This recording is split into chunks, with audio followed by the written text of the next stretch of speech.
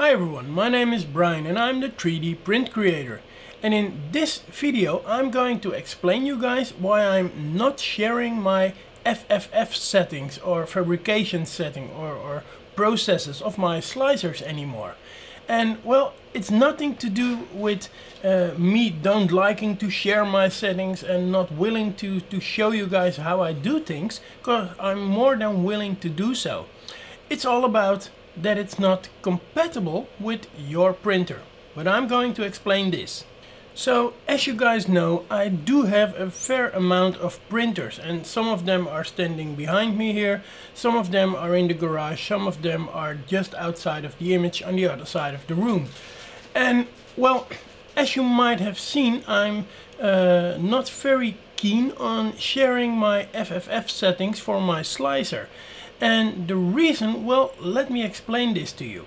Uh, some of those printers that you see be, uh, behind me here are printers that are sent to me by uh, GearBest or by other parties uh, to show to you on my channel. And uh, those printers are first fabrication printers. This means that uh, when I got them, when I received them, uh, they were yeah, very early on the batch of making. And after that I received them, uh, and a lot of other YouTubers also received them, uh, then they were changed a little bit and uh, the printers got better and better and better. And sometimes you even see this as uh, well when you're looking on the side, side of GearBest for example then you see this is the upgraded version. Well I am not having the upgraded version. I am having the very first version of a lot of printers. So when I would show you my fabrication settings for my slicer, then this would be the settings that are, yeah, the, that are right for me. But let me explain you what's, uh, what's happening inside your printer. Now let me take you in this example of this very simple part here which is only a 2 layers height stripe. So it's two, uh, 2 millimeters in width, it's 10 millimeters in length and it's got only 2 layers in height. Now if I'm going to slice this, so uh, if I'm going to prepare this for the print and I'll say that I want to save this uh, then let's save this for example here to the stripe G code. I put it in here. Now, when we are taking a look at this G-code file, you will see a lot of funny things. So here you can see the G-code created by Simplify 3D. And well, if you take a look at this code that I have over here, then you see that there is a lot of uh, settings being done by Simplify 3D. Uh, which are written to the software that is in my printer and this printer is running Marlin software and then here there is where uh, where all the magic starts happening. Here we got the commands that uh, move the platform and well here are, here are the processes that are being created.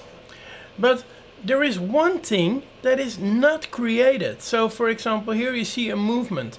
You see that uh, the, the nozzle has to go from this location to another location and every time what happens is it moves from a location to a location. And here you can see that the tool head is going to a certain position. And then on that position, every time uh, the corners are being given as the, the place where the tool head has to go to. So uh, I don't know if you have seen this, but for example here, uh, I have to take it back. Here you can see that it's driving from corner to corner immediately and you will see this happening again when it's done here. Then immediately you see it taking big steps from corner to corner. So what happens after your slicer gave those commands is more uh, a thing that is controlled in your printer. So your slicer tells your printer go from this point to that point. And then your interpreter in that printer, the interpreter that interprets your G-code that is given by the slicer, yeah, there uh, it's determined how to do this. Then what happens is it says, well, if you have to go from this point to this point, uh, it's 10 centimeters far from each other, then uh, in the first centimeter we have to do the acceleration. And then we can do 9 or 8 centimeters on top speed. But then after that 8 centimeters in top speed, where we have only 1 centimeter to, to go, uh, there we have to decelerate again because, well, otherwise we would bump into an end. And uh, this also means that your extruder, for example, uh, has to, while there is an acceleration going on, also the extruder has to accelerate in the speed it's going to provide filament to the nozzle. And when almost at the end of that line, uh, it has to decelerate again, because then, well, there has to be less filament going to, to, to ooze out of that nozzle again. So there is a lot more to configure than only your slicer and this is the main reason why I'm not sharing my uh, FFF files or processes to, to anyone anymore because I like to tune my printers. And uh, if I'm tuning my printer then I'm setting the acceleration speed, I'm setting the deceleration speed, I'm setting all that kind of settings in my Marlin software. And then after I've done that I'm going to change things in my slicer. I'm going to optimize how my slicer is giving these commands to the interpreter in that, that board which is running my Marlin software and uh, then I can optimize my slicer to that interpreter. Now the thing is that when you buy a printer, especially when you buy a printer from a good company, like for example JG Aurora, then you will find out that not every printer is the same. So when I got this printer, which was an early batch, uh, then, well, there were some settings which were not really perfect. And then some people complained and this company said, well, okay, we make a new batch and it's a new version. And they changed some things inside the printer, not only hardware-wise, but also in the software and uh, well they made the software better. They even uh, improved a version. So uh, this this printer I'm having here for example uh, when it does its C bed leveling then it's it's very rough. It's a bang bang and, and it's, it's it's not really really good in leveling the bed and while the newer versions they are very smooth. So when the, the, the, nozzle comes down it touches the bed it goes up again then slowly comes down again. And well it, it's much better.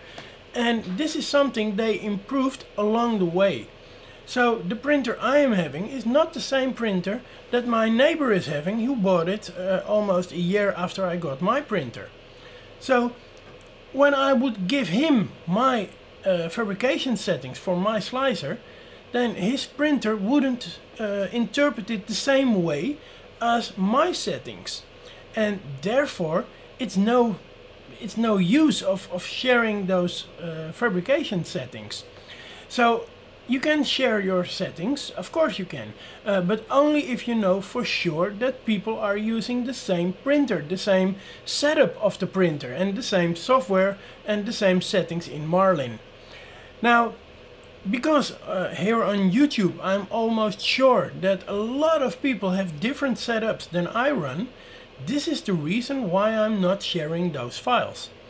Now, am, am I willing to share my settings with you? Yes, of course. There where the settings count on, on uh, things that, yeah, that we have to use all together then of course I'm willing to share my settings. So when I uh, slice something and I do this on screen, then I'll show you which choices I make in my slicer and I'll also tell you why I make these choices in my slicer so you can replicate that.